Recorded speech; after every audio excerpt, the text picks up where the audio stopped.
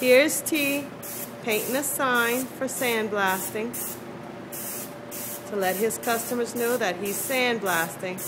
And as you can see, airbrushing also.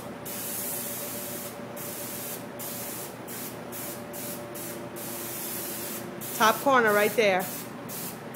Do it again. Good job. Good job, T.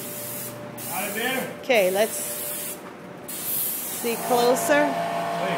Oh, compressor.